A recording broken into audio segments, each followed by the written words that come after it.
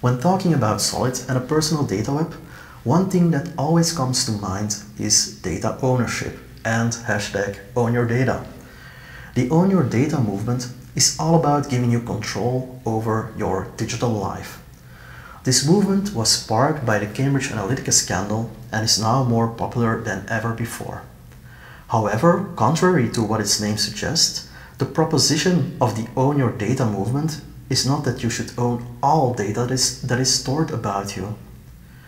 Does this confuse you? Well, don't worry, you're not alone. Many of our clients were also struggling with this insight. But why is there a confusion anyway?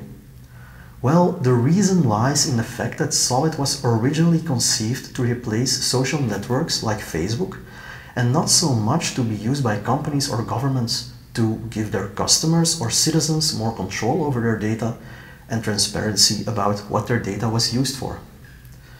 And the personal data which is stored on social networks like Facebook are of a completely different kind than the one that is stored by companies or governments.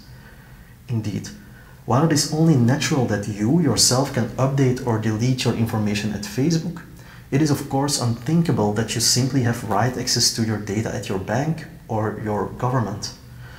Otherwise, you could simply adjust the balance of your checking account so that you are a millionaire and change your address so that you won't ever have to pay an invoice again. According to personal information management theory, this is because social networks store data of you, like your likes, your photos, and your friends, and your messages, while companies or governments store data about you. The theory says that it's only fair to have ownership over the first kind, but not over the second. Why is it important to distinguish between data you own versus data about you? Well, it's about expectations. We've noticed that companies are often hesitant to participate in a solid ecosystem or a personal data web because they think it will lead to a situation in which their customers have full data ownership and can thus do anything what they want with their data.